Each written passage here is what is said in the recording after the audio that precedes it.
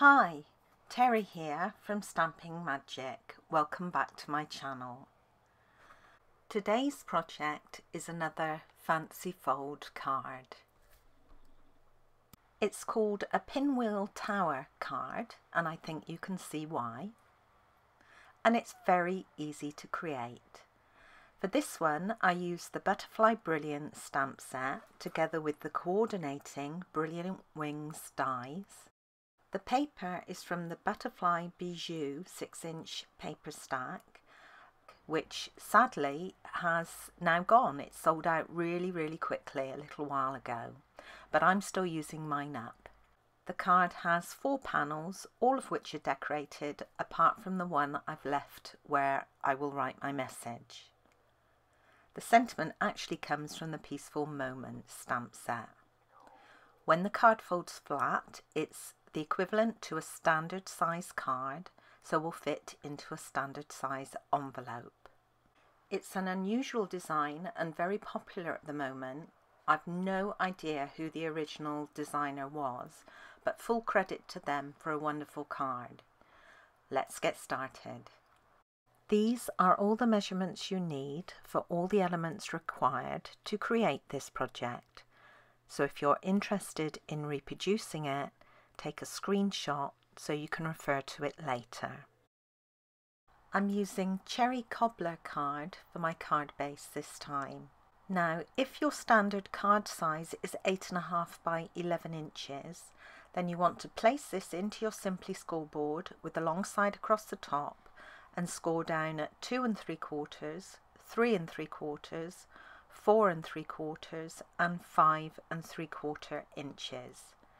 My standard card size is A4 so I'm going to add my metric plate onto my Simply Score board and I'm going to do the last score line first of all, which is 15 centimetres.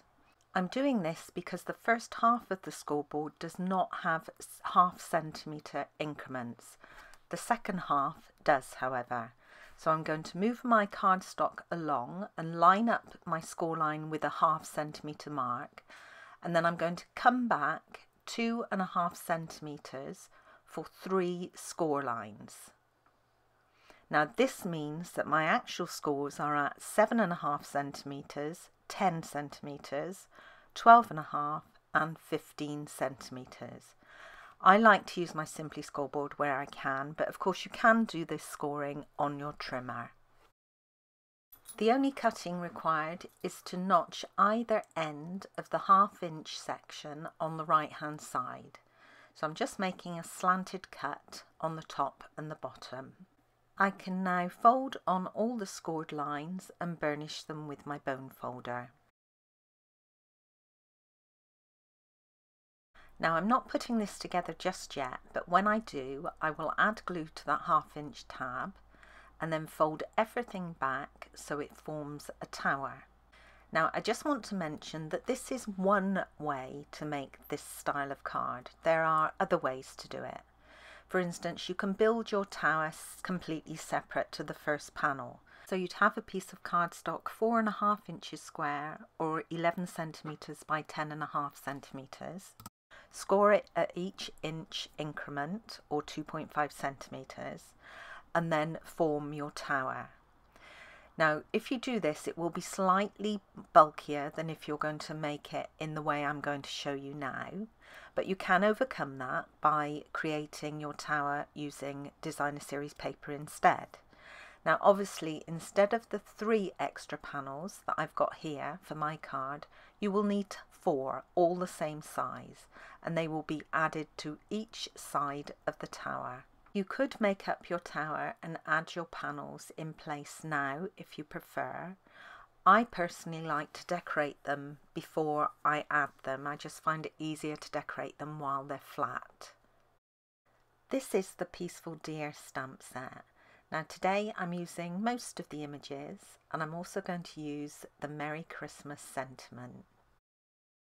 I've die cut four basic white panels and to do these I use the Stitch So Sweetly dies and it's the second size down in this group.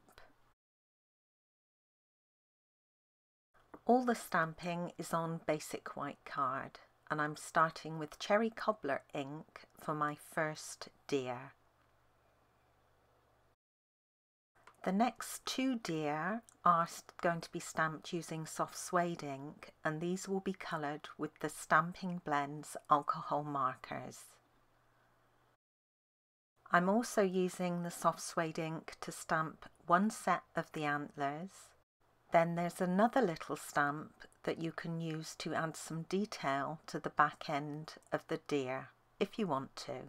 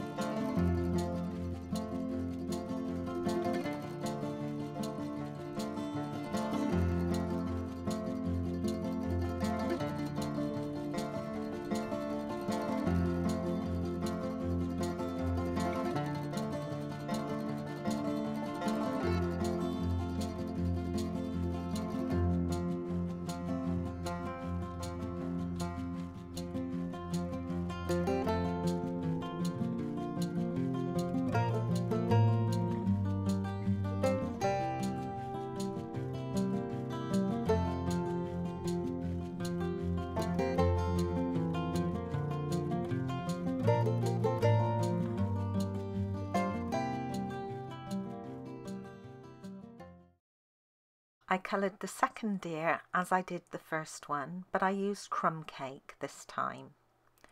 Now these two bottom deers can be punched out using the deer builder punch.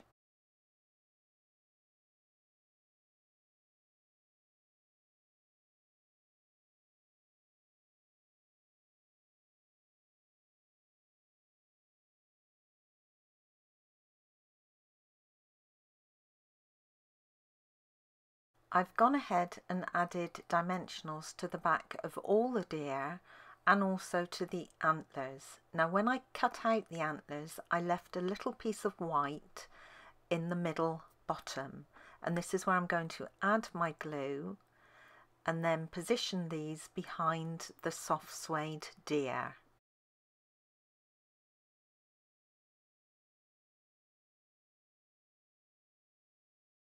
I'm using soft suede ink to stamp my sentiment down at the bottom of one of the panels. I'll also stamp the little deer that's lying down onto the bottom of another of the panels and that one will be used to write my message for the card. Now I will colour that one using the crumb cake blends. On the other two remaining panels I'm going to use garden green ink to stamp the trees. Now you get four tree stamps of different sizes um, in this stamp set so I'm going to use them all to make the panels just slightly different.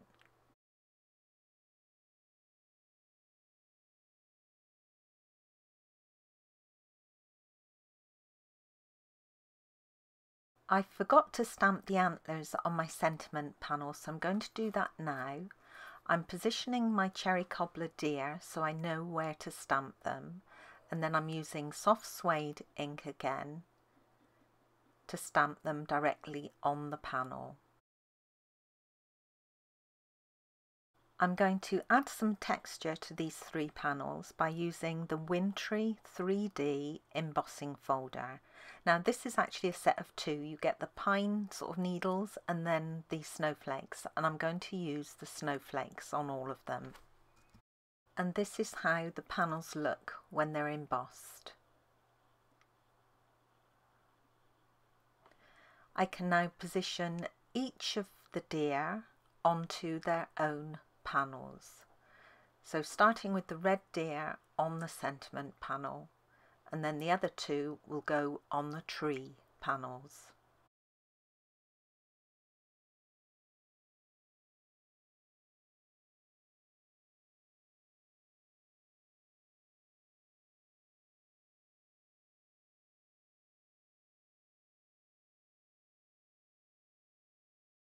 Okay, to make up my panels, I've got my card base that I made earlier. Then I've got three additional panels that I will add to the tower. I've got my white panels I've just made up. And then I've got some of the Peaceful Prints Designer Series paper. Four pieces in one size and four pieces in a smaller size. Now this paper was actually free during our celebration promotion and this is currently running until the end of September 2021. If you make a purchase of £45 then you can choose a free item from the celebration brochure and this is one of the options.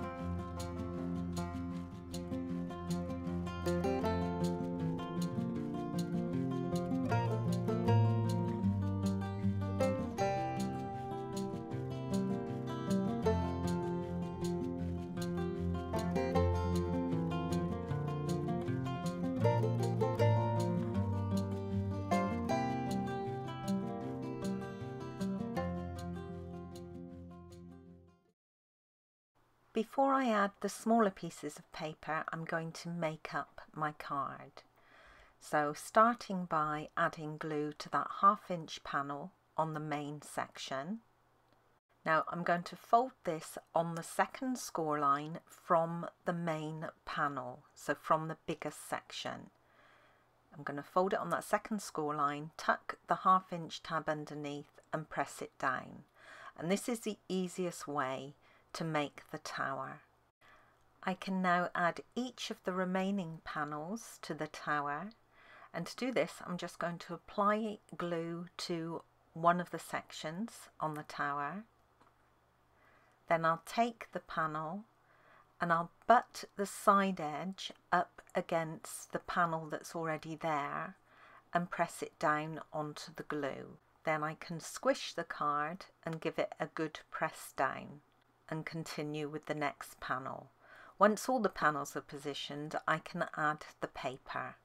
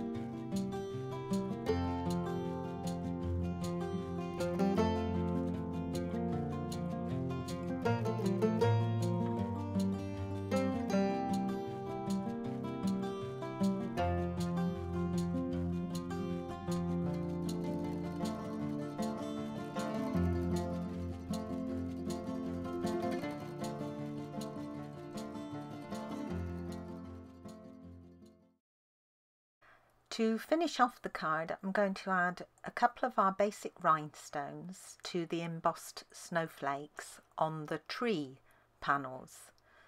When I embossed them, I made sure that a small full snowflake was up high so it would be between the trees.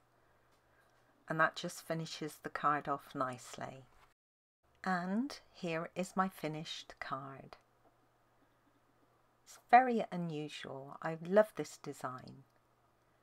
And really each of these panels would make an individual card if you wanted them to. So it folds flat nicely. It will fit in your envelopes. And here's another look at my original card. And all the panels.